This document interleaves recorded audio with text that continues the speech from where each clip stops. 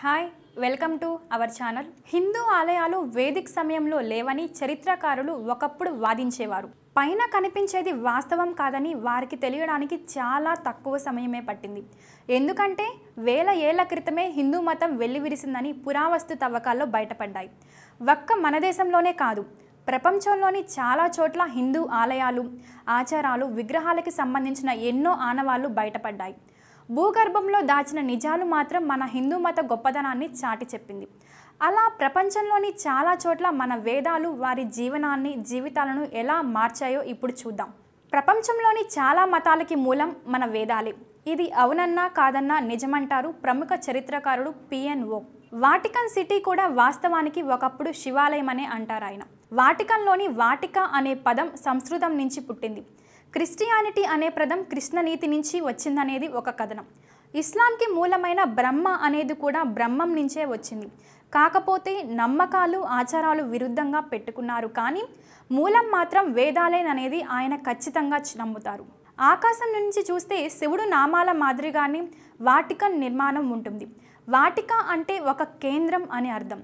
లేదంటే ఒక స్థలాన్ని కూడా వాటిక అంటారు. యజ్ఞవాటిక అనే పదంతో ఒకప్పుడు ఋషులు పిలిచేవారు. ఇక ఒకప్పుడు రోమ్లో తవ్వకాలు జరిపినప్పుడు శివలింగాలు కూడా బయటపడ్డాయి. అందులో ఒక లింగాన్ని రోమ్ మ్యూజియంలో భద్రపరిచారని చెప్తారు. రోమ్లోని జార్జియస్ ఎట్రిస్కన్ మ్యూజియంలో చాలా పాతకాలం నాటి వస్తువులు ఉన్నాయి. తవ్వకాల్లో దొరికిన తొమ్మిదవ శతాబ్దము ఆనవాళ్ళు కూడా ఇందులో ఉంచడం విశేషం. అయితే మొదటి శతాబ్దంలో బలవంతంగా అక్కడ ఉన్నవారికి క్రిస్టియానిటీ ఆపాదించారని కొంతమంది చరిత్రకారులు అంటారు. వాస్తవానికి అక్కడ ముందు శివుడినే జనం దేవుడిగా భావించారనే మరో కథనం కూడా వార్తల్లో ఉంది. క్రీస్తు శకం ఒకటవ శతాబ్దంలో అక్కడి ప్రజలు క్రైస్తవ మతంలో చేరక ముందు వాటికన్ ప్రాంతమంతా హిందూ మత కేంద్రంగా ఉందని బయటపడ్డ ఆధారాల ప్రకారం చెప్పుకోవచ్చు. కానీ అక్కడున్న వారంతా క్రైస్తవులు కావడం విశేషం. మన చరిత్ర మన హిందూ సంస్కృతి ఎంత ప్రాచీనమైనదో తెలియాలంటే కాంబోడియాలోని ఆంగోకర్ టెంపుల్ని చూడాల్సిందే. ఇది తొమ్మిది వందల ఏళ్ళ క్రితం కట్టారు. ఏ మతం పుట్టలేదు మరే మతం వెలుగులోకి రాకముందే ఇక్కడ సంస్కృతి వెల్లువిరిసింది. ఇక్కడ ధనవంతులైన హిందువులు రాజులు తమ ఇష్ట దేవాలను ఇలా గుడుల్లో ప్రతిష్ఠించుకున్నారు. మరే మతానికి ఇలాంటి గుడులు ఆనవాళ్ళు లేవని ప్రతి హిందువు గర్వంగా చెప్పుకోవచ్చు. అది కూడా దేశం కాని దేశంలో. సియర్ రేప్ పట్టణం కాంబోడియాకు గుండెకాయ లాంటిది. టోన్లో సాప్ సరస్సు పక్కన ఉన్న అతి సుందరమైన ఈ గుడిని జీవితంలో ఒక్కసారైనా ప్రతి హిందువు చూడాలి. అలానే ఈ ఆలయమే కాదు సియర్ రేప్లో కొన్ని వందలాది టెంపుల్స్ మన సంస్కృతి గొప్పతనాన్ని ప్రపంచానికి చాటుతున్నాయి. ఇక్కడ ఎన్నో బుద్ధిస్ట్ టెంపుల్స్ కూడా సుందరంగా కనువిందు చేస్తున్నాయి. శివుడు విష్ణువు ఆలయాలు ఒక మైలు చదరపు అడుగుల పరిధిలో అందంగా కనిపిస్తాయి. రంగులు వెలిసిపోవచ్చు కానీ రాళ్ళపై చెక్కిన శిలాశేషనాలు దేవుడి పాటలు మాటలు అన్ని హిందూ మత సంస్కృతిని ప్రపంచానికి చాటుతున్నాయి. హిందూ మతం పుట్టింది భారత్లో అయినా హిందూ మతానికి కంబోడియా కేంద్ర బిందువు అని చెప్పచ్చు. ఇక హరప్పాలో ప్రముఖ ఆర్కియాలజిస్ట్ ఎంఎస్ వ్యాట్ దాదాపు ఐదు వేల ఏళ్ళ క్రితం నాటి శివలింగాన్ని ప్రపంచానికి చూపించారు. విగ్రహారాధన హిందూ సంస్కృతి అనేది ఆనాటి నుంచే ఉందనడానికి హరప్ప ఆలయాలు నిలువెత్తు నిదర్శనం. ఇక తమిళనాడులో ఒక బ్రాహ్మణుడు రాసిన రాతలు జార్పై ఉండడం ఈజిప్ట్ పురావస్తు శాఖ వారిని షాక్ గురిచేసి అది కూడా క్రీస్తు పూర్వం ఒక జార్పై తమిళ బ్రాహ్మణుడు రాసిన పదాలు ఆయన పేరు మట్టితో చేసిన పాత్రపై ఉన్నాయి. అయితే ఇన్నేళ్ళైనా కూడా ఆ పాత్ర ముక్కలైంది కానీ పాడు కాలేదు. దాని కొంత భాగం బ్రిటన్ మ్యూజియంలో ఉంది. అయితే ఇండియా నుంచి దీనిని క్రీస్తు పూర్వమే ఈజిప్ట్కు తెచ్చి ఉంటారని ఆర్కియాలజిస్టులు చెప్పుకున్నారు. ఎందుకంటే ఇది తప్ప మరో ఆధారం దొరకపోవడంతో భారత్లో తయారై ఉంటుందనేది వారి థియరీ. పంతొమ్మిది వందల ఏళ్ళకు ముందు నాటి వినాయకుడి విగ్రహం ఓమన్లో దొరికింది. చారిత్రక ప్రదేశమైన సింహూరంలో ఈ స్టాచ్యూ దొరకడం విశేషం. అయితే భారత్ నుంచి ప్రపంచానికి ఎగుమతులు అయ్యేవనడానికి ఈ విగ్రహం ఉదాహరణ అని చెప్తున్నారు. అయితే ఆనాటి హిందువుల ఓమన్కు భారత్ నుంచి ఈ విగ్రహాన్ని తెప్పించుకుని ఉంటారని చరిత్రకారులు చెప్తున్నారు ఇక ఇండోనేషియాలో ఎటు చూసినా హిందూ సంస్కృతి ఆనవాళ్ళు కనిపిస్తాయి. నేలపై చూసినా నేల లోపల తవ్విన పదమూడవ శతాబ్దం నుంచి పదిహేనవ శతాబ్దం వరకు హిందూ ఆలయాలు దేవుడు విగ్రహాలు ఆయుధాలు దొరికాయి. ఇక ఆకాశాన్నంటే టెంపుల్స్ మన దేశంలో కూడా లేవంటే ఆశ్చర్యం కాదు. ముస్లిం దేశమైనా అక్కడ ఉన్నదంతా హిందూ సంస్కృతి. వారి మతాచారం ఎలా ఉన్నా హిందూ దేవులను కూడా కొలుస్తుంటారు జనం. ఇక్కడ ఇస్లామిక్ యూనివర్సిటీలు ఆర్కియాలజిస్టులు భూమి లోపల శివలింగం గణేశుడి విగ్రహాలను కనిపెట్టారు. పూర్వం ఇక్కడ హిందువులే ఉన్నారడానికి ఇది ఒక ప్రత్యక్ష సాక్ష్యం అంటున్నారు పురావస్తు శాస్త్రవేత్తలు. అలానే స్పెయిన్లో కూడా ఆంజనేయ స్వామి విగ్రహం ప్రత్యేకత తెలుసుకొని తీరాల్సిందే. చార్లెస్ లిండెన్ బర్గ్ అనే సైంటిస్ట్ కొన్నేళ్ళ క్రితం అక్కడి అడవుల్లో రీసెర్చ్ చేస్తుండగా ఆంజనేయ స్వామి విగ్రహం కనిపించింది. అది కూడా రాయికే చెక్కి ఉండడం విశేషం. చేతిలో గదతో ఉన్న ఆ అద్భుత నిర్మాణాన్ని ప్రపంచానికి పరిచయం చేశాడు. అయితే మనం ఆంజనేయ స్వామి అని పిలిస్తే స్థానికులు దానికి మంకీ గాడ్ అంటారు. పూర్వం ఇక్కడ ఆంజనేయ స్వామి భక్తులు ఉన్నారనడానికి ఇదే ఉదాహరణ. హిందువులే ఆ విగ్రహాన్ని ఎలా ఏర్పాటు చేశారనేది కన్ఫర్మ్ చేయడానికి కారణం చేతిలో గద ఉండడం. ఎందుకంటే మన దేవుళ్ళకు మాత్రమే చేతిలో ఆయుధాలు ఉంటాయి. ఇక గాంటెమాల దగ్గరలోని కోపన్ సిటీలో లాట్ హనుమాన్ విగ్రహాలు ఎన్నో చరిత్రలో కలిసిపోయాయి. ఈ సెంట్రల్ అమెరికాకు మన సంస్కృతి ఎలా వచ్చిందనేది ఇప్పటికీ మిస్టరీయే ఇక్కడ కూడా మంకీ గాడ్ అనే లార్డ్ హనుమాన్ను పిలుస్తారు. మనకు మాత్రం హనుమంతుడు. అక్కడ ఉన్న విగ్రహాలకు దీటుగా మన వాళ్ళు మరో భారీ విగ్రహాన్ని ఏర్పాటు చేశారు. అలానే గాంటమాల దగ్గరలోని కోపన్ సిటీలో లార్జ్ హనుమాన్ విగ్రహాలు ఎన్నో చరిత్రలో కలిసిపోయాయి. ఈ సెంట్రల్ అమెరికాకు మన సంస్కృతి ఎలా వచ్చిందనేది ఇక్కడికి ఇప్పటికీ మిస్టరీ. ఇక్కడ కూడా మంకీగాడ్ అనే లార్జ్ హనుమాన్ను పిలుస్తారు. మనకి మాత్రం హనుమంతుడు. అక్కడ ఉన్న విగ్రహాలకు దీటుగా మన వాళ్ళు మరో భారీ విగ్రహాన్ని ఏర్పాటు చేశారు. రామాయణంలోని యుద్ధకాండకు బ్రెజిల్ సెంట్రల్ అమెరికాలకు లింక్ ఉండి ఉంటుందనేది చరిత్రకారుల నమ్మకం. ఎందుకంటే భారత్ నుంచి పాతాల లోకం అంటే భూమికి వెనక వైపు ఉండే సెంట్రల్ అమెరికా నుంచి బ్రెజిల్ వరకు అన్నమాట. హనుమంతుడు తన కొడుకును కాపాడుకునేందుకు పాతాల రాజును చంపి మకరధ్వజను రాజును చేశాడని చెప్తారు. మకరధ్వజ రాజయ్యాక ఆ ప్రాంతమంతా స్వర్గలోకమైందంట. పాతాల రాజును చంపిన హనుమంతుడు అందరికీ దేవుడయ్యాడు. అందుకే అతని విగ్రహాలు అక్కడే కనిపిస్తాయంటారు శాస్త్రవేత్తలు.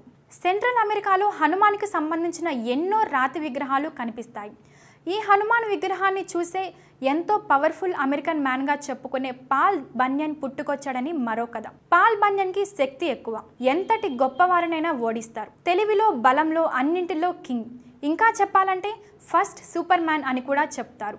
భారత సంస్కృతి అమెరికాలో చూడాలంటే national museum of the American ఇండియన్ని చూడాల్సిందే. అక్కడ భారతీయ చరిత్రలోని ఆధారాలైన రాతి ఆయుధాలు బాణాలు విగ్రహాలు రాతి శిల్పాలు అందులో పొందుపరిచారు. ఇలా మన హిందువులు కొన్ని వేల ఏళ్ళ క్రితమే ప్రపంచమంతా ఉన్నారనడానికి ఇంతకంటే ఆధారం అక్కర్లేదు. రాముడు రావణుని చంపాక ప్రత్యేకంగా ఒక శివాలయానికి వెళ్ళి ప్రార్థన చేశాడు. తనకు విజయాన్ని ఇచ్చినందుకు ఆయనకి కృతజ్ఞతలు చెప్పుకున్నారు. ఆ ఆలయమే శ్రీలంకలోని మున్నేశ్వరం అనే ప్రాంతంలోని మున్నేశ్వర ఆలయాలం. ఇక్కడికి రాముడితో పాటు ఆంజనేయ స్వామి సహా దేవ దేవతలంతా రాముడితో కలిసి వచ్చారట. ఐదు ఆలయాల సమూహంలోనే రాముడు ఆ శివుడికి మొక్కి అయోధ్యకి వచ్చాడని చరిత్ర చెబుతుంది. ఇది రామాయణం కంటే ముందు ఉందని ఆ గుడి గొప్పతనం తెలిసే మరో రూపంలో ఉన్నా వచ్చి రాముడు ప్రార్థనలు చేశాడని చరి- చరిత్రలో లిఖించి ఉంది. అలానే ఆస్ట్రేలియాలోని ముక్తి గుప్పేశ్వర ఆలయం చూడాలంటే రెండు కళ్ళు చాలవు. మింటిలోని ఈ గుడిలో పదమూడు జ్యోతిర్లింగాలు ఉంటాయి. ఇక శివుడి మెడలోని పామే ఫ్లూట్గా కనిపించే అరుదైన విగ్రహం అదరహో అనిపిస్తుంది. మనిషి తవ్విన కేవ్లో ఏర్పాటైన హిందూ గుడి ఇదే. దీనిని పంతొమ్మిది వందల తొంభై తొమ్మిదిలో నేపాల్ రాజు ఈ విగ్రహాన్ని ఆస్ట్రేలియాకు కానుకగా ఇచ్చాడు. అంతేకాదు ఎంతో చారిత్రాత్మకమైన దాదాపు ఎనిమిది వేల గీతాలను కూడా అందించారు ఆయన. వాటికి ఎంతో గౌరవం ఇచ్చి పంతొమ్మిది వందల తొంభై తొమ్మిది శివరాత్రి రోజున ఈ ఆలయానికి పూజలు చేసి గుడి నిర్మాణం చేపట్టారు. మన ఆధ్యాత్మిక చరిత్ర నేలలోనే ఎక్కువగా ఉందని ప్రముఖ ఆర్కియాలజిస్ట్ టీకేవి రాజన్ అన్నారు. ఎందుకంటే ఎక్కడైనా సరే హిందూ సంస్కృతి అంటే శివుడికి సంబంధించిన ఆనవాళ్ళే ఎక్కువగా దొరికాయి. కానీ క్రీస్తు పూర్వం నూట ఎనభై ఏళ్ళకు పూర్వం నాటి కృష్ణుడికి సంబంధించిన గుర్తులు లభించాయి. అది కూడా ఆఫ్ఘనిస్తాన్లో. ఎంతో ఖర్చు పెట్టి జాగ్రత్తగా జరిపిన తవ్వకాల్లో కృష్ణుడి శంఖం సుదర్శన చక్రం ఆఫ్ఘనిస్తాన్లో దొరికాయి. ఇవి ఆనాటి గుడిలో పూజ కోసం వాడి ఉంటారని వారి నమ్మకం. అంతేకాదు ఒకవైపు కృష్ణుడు నెమలి పింఛంతో ఉన్న కాయిన్స్ లభించాయి. ఆసక్తికరమైన విషయం ఏమిటంటే మరోవైపు బలరాముడు బొమ్మ ఉండడం వీటిని ఆనాడు చెల్లుబాటయ్యే డబ్బులుగా వాడి ఉంటారని ఇలా మన చరిత్ర అంతా నేలలోనే ఉందని గర్వంగా చెప్తున్నారు ఆర్కియాలజిస్టులు. రంగులు చెదరని లక్ష్మీదేవి విగ్రహం జమ్మూ కాశ్మీర్లో అనంతనాగ్లో దొరికింది. దీని వయసు పద్నాలుగు వందల ఏళ్ళు. ఇంత గట్టి విగ్రహం దొరకడం మన హిందూ చరిత్రలో మొదటిది. ఎందుకంటే రంగులు కూడా చెదరని ఈ విగ్రహంపై ఆర్కియాలజిస్టులు సంతోషం వ్యక్తం చేస్తున్నారు. శ్రీలంకలో హిందూ మత మానవాళి గురించి వేరే చెప్పక్కర్లేదు. తాజాగా జాఫ్నా యూనివర్సిటీ ఆర్కియాలజిస్టులు కొన్ని వందల శివుడు విష్ణువు విగ్రహాలను వెలికితీశారు. ఇలానే రష్యాలో కూడా పదిహేడు వందల ఏళ్ళ నాటి విష్ణుమూర్తి విగ్రహం లభించింది. దానిని ప్రముఖ మ్యూజియంలో దాచిపెట్టారు అక్కడి ఆర్కియాలజిస్టులు. అయితే భారత్తో లింకు ఉన్న వస్తువులు కాయిన్స్ శిలా విగ్రహాలు బయటపడడంతో ఇక్కడి నుంచి కొంతమంది శాస్త్రవేత్తలు వెళ్ళి వాటి ఆధారాలను సేకరించారు. అయితే ఆ వస్తువులను మనకి ఇచ్చేందుకు ఆ దేశం ఒప్పుకోలేదు. కానీ రీసెర్చ్కు సహకరిస్తామని చెప్పడం విశేషం. ద్వారక ప్రపంచంలోని మిస్టీరియస్ ప్లేస్. తాజాగా ఒక ఆనవాలు ఆర్కియాలజిస్టులకు దొరికింది. మొత్తం చెక్కతో చేసిన ద్వారక నిర్మాణం నీటిలో లభించింది. కొన్ని వేల ఏళ్ళ సంవత్సరాలైన జామ్నగర్ తీర ప్రాంతంలో ఇది కనిపించడం విశేషం. సముద్రంలో ద్వారక మునిగిందనడానికి ఇది మరో ఉదాహరణ. తమిళనాడులోని జ్యోతి అనే గ్రామంలో ఒకే చోట ఇసుకలో నూట ఎనిమిది శివాలయాలు బయటపడ్డాయి. ఈ చిన్న చిన్న ఆలయాల్లో ఆ రోజుల్లో పూజలు జరిగేవని చరిత్ర చెబుతుంది. అయితే ఇక్కడ ఉన్న నూట ఎనిమిది ఆలయాల్లో పూజలు చేస్తే ఓటం అనేది ఎరుగుదని నమ్మకం. రాణి రుద్రమీదేవి కూడా వరంగల్ నుంచి వెళ్ళి మరీ అక్కడ పూజలు చేసి వెండి రథం బంగారు కిరీటం సహా ఎన్నో కానుకలు ఆ దేవుడికి ఇచ్చిందని చెప్తారు. ఇక చైనాలో భారత సంస్కృతి ఉన్నా ఆ దేశం చాలా వరకు నాశనం చేసింది. కానీ అక్కడ కొన్ని ఆలయాలపై ఉన్న మన దేవుడు విగ్రహాలను ఏమీ చేయలేకపోయారు. ఎందుకంటే అవి చరిత్ర సాక్ష్యాలు. అత్యంత ఎత్తైన పూర్తి రాతితో కట్టిన ఆ విగ్రహాలు రాయిపై చెక్కిన హిందూ సంస్కృతి పదమూడవ శతాబ్దానికి చెందినది. దక్షిణ చైనాలో మన దక్షిణ భారతానికి చెందిన శివాలయ నిర్మాణాలు ఇప్పటికీ ఉన్నాయి. వాటిని టూరిస్ట్ ప్లేసులుగా మలిచింది చైనా. ఇలా మన హిందూయిజం ప్రపంచమంతా విరజిల్లింది వ్యాపించింది అనడానికి ఇంతకంటే సాక్ష్యం మరొకటి అక్కర్లేదు. సో చూశారు కదండి ఇలానే మన హిందూ దేవాలయాలు ఆచారాలు కూడా మన దేశంలోనే కాదు ఇతర దేశాల్లో కూడా ఉందనడానికి ఈ వీడియోనే సాక్ష్యం.